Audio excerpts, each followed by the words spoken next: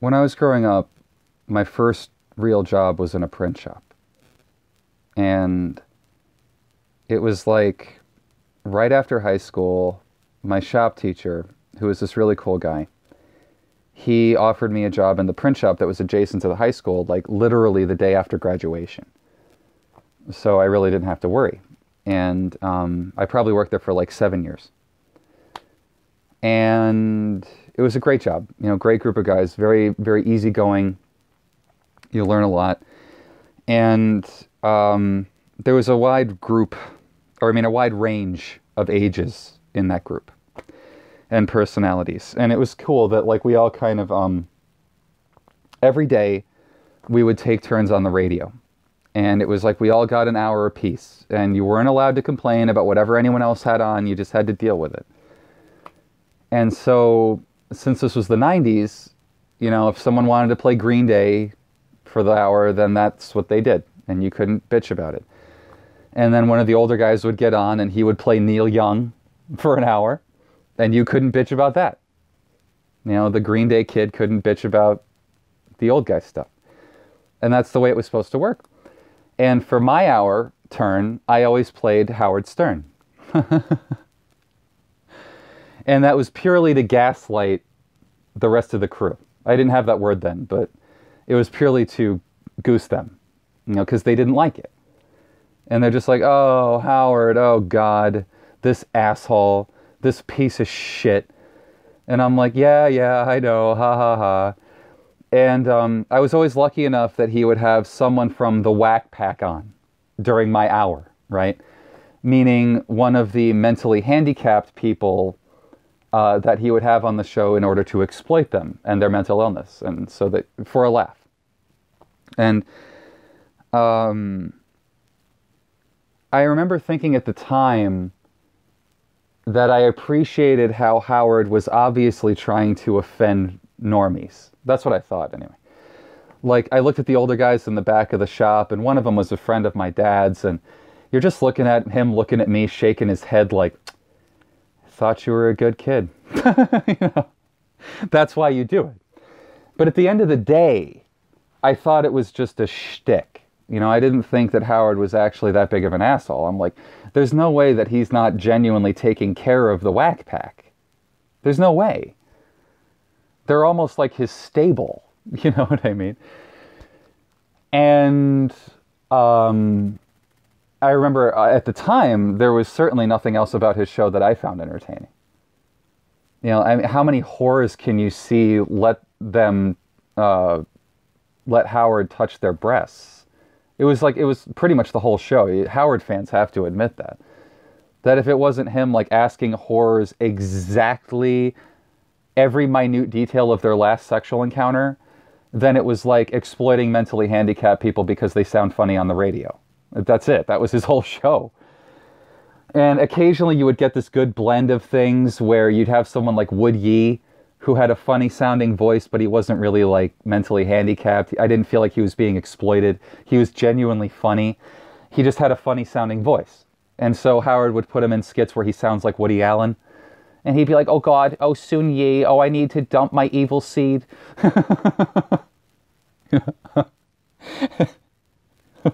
and you'd laugh. But now, um, I'm reminiscing about all of this with my friend from the print shop that, you know, I one of my best friends, I still talk to him a lot. And we're hanging out and we're watching YouTube. And he's like, "Hey, remember Howard? Remember the Wack Pack? Remember the print shop? Remember?" And I'm like, "Yeah, yeah, of course, of course." And so he's searching YouTube by name in the Wack Pack. And he's like, "Oh, Gary the retard, Beetlejuice, whatever." And he gets to John the Stutterer we find like this hour long video. And we're watching it, and it turns out it's not very funny. There's not, you know, it's mostly John looks like he's on the verge of tears because he says that he's not getting paid for doing an hour long show on Sirius XM, you know, called like John's Thoughts or whatever the fuck it was called. I don't know. And so that meant that John the Stutterer had an hour long show on Sirius that Howard asked him to do that he was not being compensated for. And so John comes in and says, Well, you've got other people doing shows for you for an hour, like Riley Martin, I think, had a show at that time. And he was like, You pay them. Why don't you pay me? And what does Howard keep telling him? He keeps going, Oh, don't worry about them. Why not? He's talking about fair compensation. He's comparing himself to his coworkers. And Howard's like, Oh, don't worry about that guy. and John the Stutterer is like, Well, this guy has an hour long show. You know, he has his ratings are worse than mine. So I'm wondering why I'm not compensated and he is. Get to it. Why is he no longer? Well, I I know why. Let me help John out here for a second, but I, I want to work through this with him.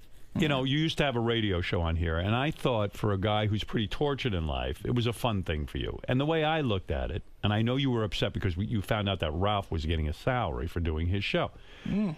But, you know, leaving Ralph out of it, and I can't explain No, to I can't. I'm not leaving him well, out. But I'll, I'll get to it. He can't. But you know, for you, you're a guy who likes to call into the show. You love speaking to the listeners. The way I look at it is, these shows, I don't care if they're on or not. But for you, I thought it would be fun because you get to speak for an hour without being interrupted by me. You got your thoughts out. You're a caller anyway, so I figured, hey, let John have his hour to say whatever he wants. It's never going to be a money making proposition. I can't explain to you why Ralph gets paid. I, I don't even know the answer to that. well, But my I, I don't pay Ralph either. Who cares? well, And Howard just keeps going like, "Look, I offered you an hour to hawk your trinkets. That should be good enough. I shouldn't have to pay you to do it." What the fuck is he talking about?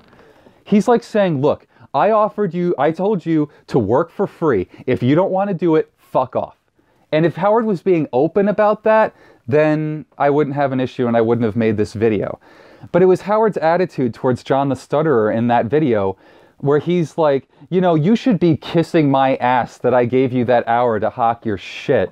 That's still work, Heimish. That's still work. It's still an hour long radio show. It's still work. And I love how Howard keeps saying, like, that's not work. You're right, Howard. What you do is not work and has never been work. You have been jacking off on the radio for 30 fucking years. You don't work. You show up late, you sit down, and you go like, "Hey, Horace, what's up? Well, how'd you fuck last night?" That's not a job. You don't work either. You work just as hard as John the Stutterer and Riley Martin. If anything, you don't work as hard as they do. You show up, what, three days a week now with the Bill Maher work ethic? Yeah, I just show up whenever I fucking feel like it and yak about whatever I feel like it, then I take off. That's not a job. That's barely YouTube.